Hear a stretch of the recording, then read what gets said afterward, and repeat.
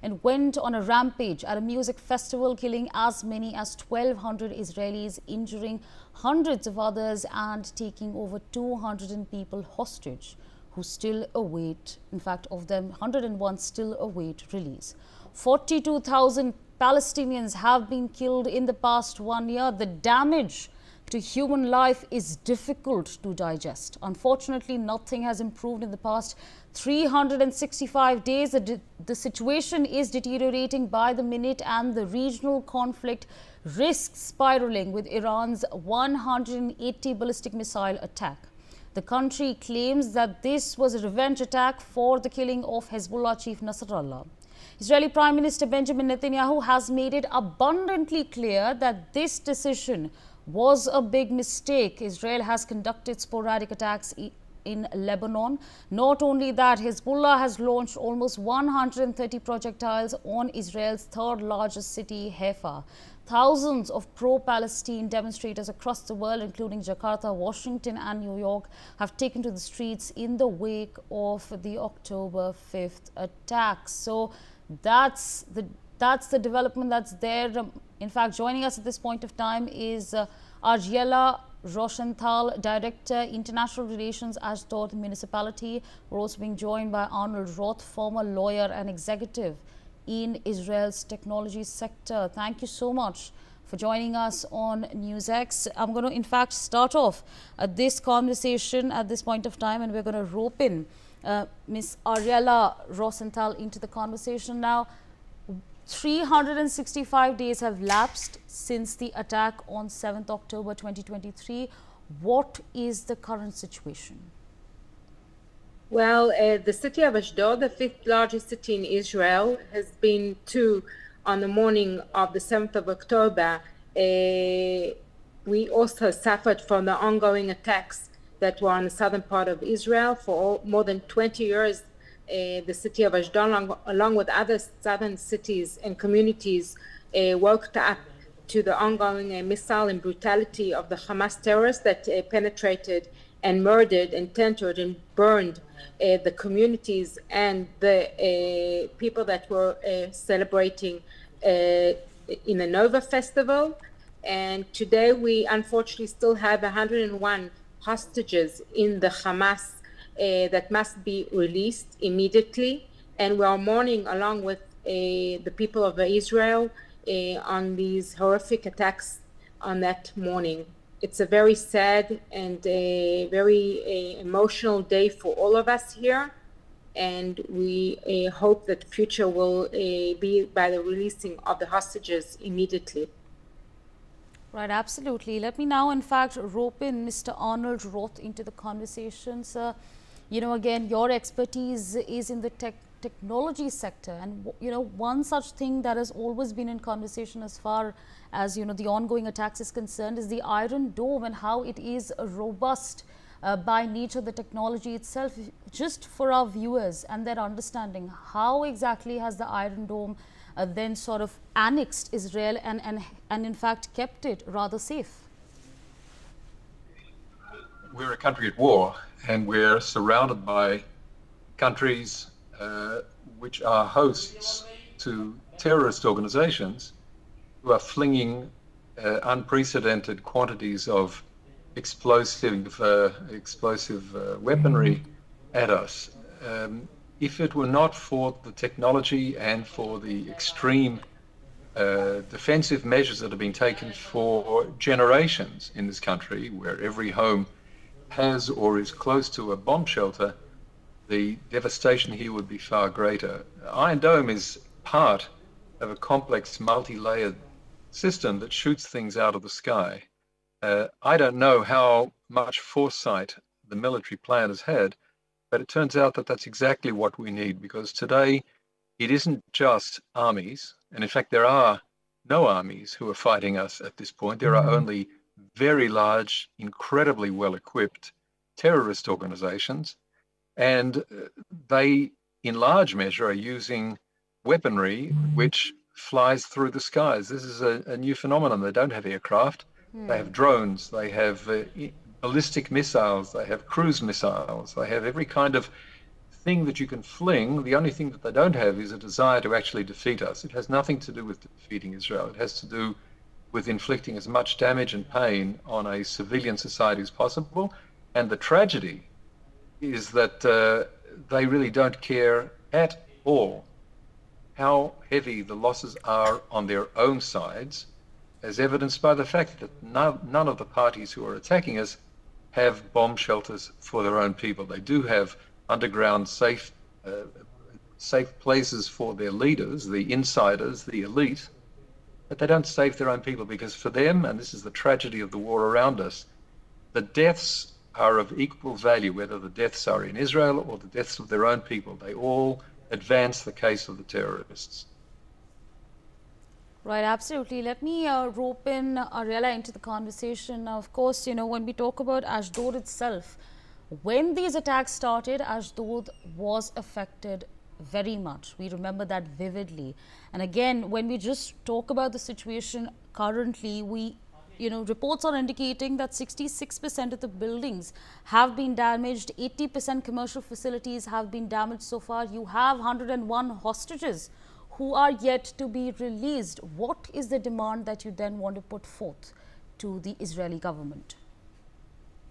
Well, I have I have very much confidence in my government, and uh, people uh, around the world must understand that these attacks on Israel will happen in their cities too, in Europe, in Ukraine, in, America also. And this is not an, uh, only a problem of the state of Israel, but it's about it's a problem of the free world. Iran, which attacks Israel, which attacks Israel directly, stands as the head of a murderous terrorist axis that means the Hezbollah, the Hamas, the Houthis, and more and it's creating destruction in the Middle East as in in Europe and actually endangers the peace of the entire world. So I'm confident and I'm sure that what my government uh, will is currently preparing uh, is in the belief that our country must must you know save and be secure for itself and rely only on itself because uh, we see what's happening in the international community and uh, people unfortunately do not understand that what is happening currently in Israel uh, will be in their neighborhood tomorrow morning. Right, absolutely. I take this conversation forward with Arnold Roth, proposing the same question uh, to you. What is the demand that you want to put forth to the government? And uh, yeah, first let's go with that question the public discourse in Israel for most of the last year has been divided between two uh, somewhat different issues which don't live well together. One of them is by every possible means we must get our hostages back on one side. And on the other, by every possible means we must stop these monsters from flinging their bombs and their missiles and their drones at our homes, at our kindergartens, at our restaurants, and at our children. Uh, those two uh, missions have somewhat blended uh, in recent times because we're now at the point, if you look at Gaza, which is where the eruption occurred, uh, Gaza is a vast fortress existing below a series of towns, villages, and cities. And much of what protected underground fortress, is now destroyed. If I were a Gazan and I were looking around me, I'd be stunned and shocked and wondering how we got into this mess. And then I'd be asking the people who have brought all of this on my head, who are Hamas and the Palestinian Islamic Jihad, why did you do this? And why are you sitting with your children in safe places, sometimes in reinforced concrete uh, tunnels with magnificent suites and sometimes in hotels far away from here. Why have you done all of this knowing that we would be the ones whose homes are destroyed by the Israelis? That kind of an analysis makes the gap between let's save the hostages and let's defeat the enemy a little smaller. Everybody wants to see the hostages brought back. It, it was a catastrophic miscalculation, in my opinion, that Hamas decided that hostages should be a major goal for them because there's no one in this country who doesn't want to see the hostages brought back. But in the details of this, certainly up until recently, it has mattered very much whether uh, the war should be brought right up to the face of the Hamas people, even if this endangers Israelis and others who have been taken hostage by the Hamas terrorists. But as I say, the issues are somewhat resolving themselves because there's not much left of Gaza. In in uh, Lebanon, where Hezbollah has utter control of the government and of the terrain, we have yet to see how much destruction it will take in order to bring a stop to the Hamas fighting. And if I could just say one additional sentence, we hear a great deal of talk about how there needs to be a ceasefire. Hmm. Uh, but we have to absolutely have at the front of our minds the notion that the other side, in the north and in the south, Hamas and Hezbollah, and I would say the Houthis as well, absolutely don't care in the smallest way about the losses that their own people suffer. It's a, it's, it's a way of moving forward. The more deaths, the better. The more destruction, the better. It doesn't matter if it's Israeli destruction or the destruction of the homes of the people among whom they live. The point is the destruction. Uh, Israel doesn't see things that way. Uh, Israel doesn't have a desire to wreak uh, terror and horror and death and destruction on our neighbors, but Israel is remarkably united in the idea that at this point, anything that it will take to stop these people and their ugly uh, terror strategy is justified. Absolutely. Ariella, I'd like to rope you into the conversation now. Um, you know, when we talk about the United States of America, what is the kind of role that Israel would perhaps want the United States to now take on?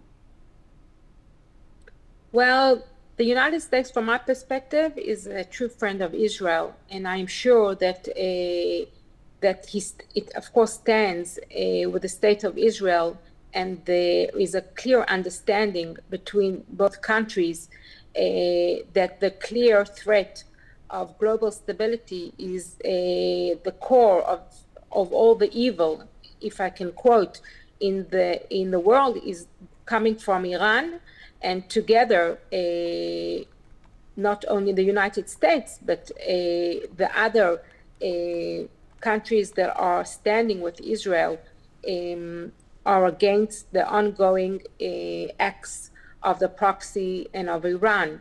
So I'm sure that both governments, maybe even if the United States uh, phrases uh, that Israel, of course, has a right to stand against all uh, the evil and the ballistic missiles that were uh, launched on Israel, uh, but maybe must act in a, in a certain manner, at the end, we understand uh, that Israel has the right to a self-defendant and will stand uh, as strong as it is against the uh, threats that we have from Iran.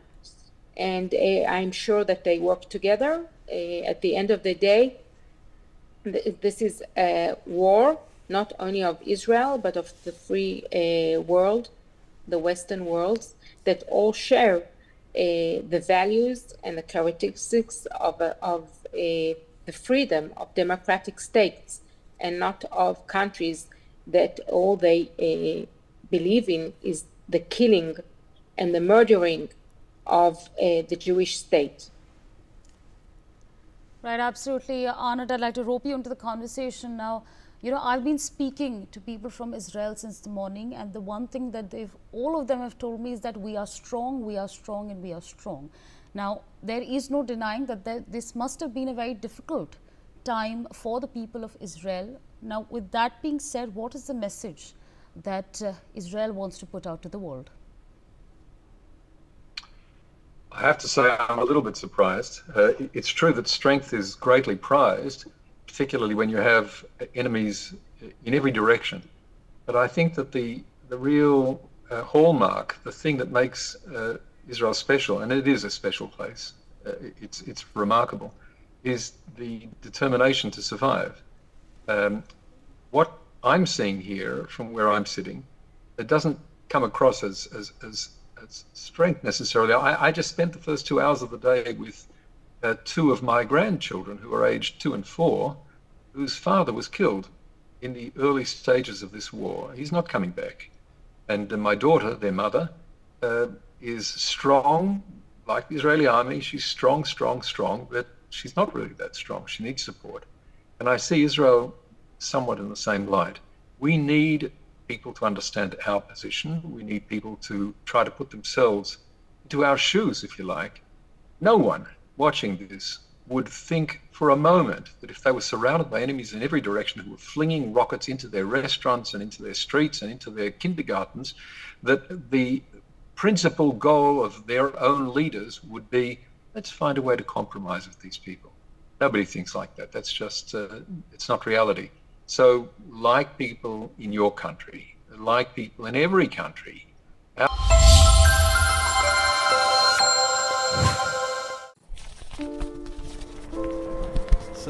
हा माझा C V तुमचा C V खूप चांगला आहे पण आम्ही फ्रेशर्सना काम देऊ शकत नाही.